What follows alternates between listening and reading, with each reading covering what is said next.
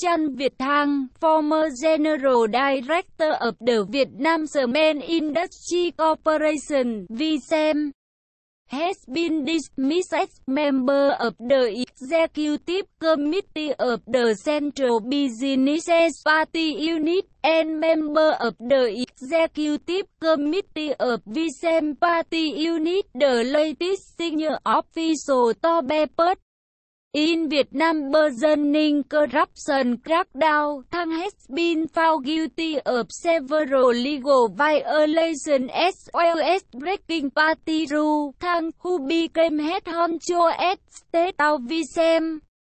The County Leading Cement Producer in September 2013 took action that plunged the company into 4 đồng Việt Nam trillion 175,2 đô la Mỹ million index by the end of 2016, Party Inspector said.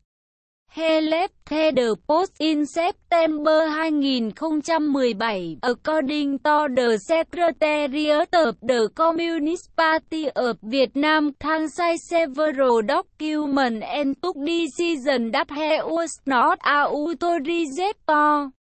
His action violated the corporate law and bidding law, as well as rule for party member It said Thang violation was serious. Compromise Vicem bottom line endemic the reputation of the company as well as the party. Việt Nam mong hoang corruption crackdown. It has already claimed many scabs including high-ranking officials from several ministry departments and firms.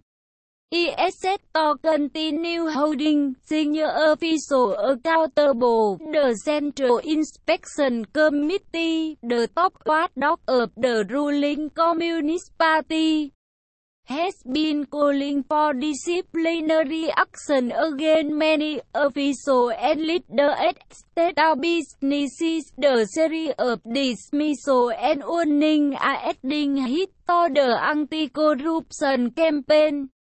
Spearhead được by Party General Secretary Nguyên Phu Trong, score of high-ranking Official and business people have been investigated and sent to jail over the past couple of years trong 74 has repeatedly said that the corruption fight would maintain its momentum and continue moving forward. Sperino ăn Video được tài trợ bởi nhiệt kế hồng, ngoại bán tại shop lặt vặt.com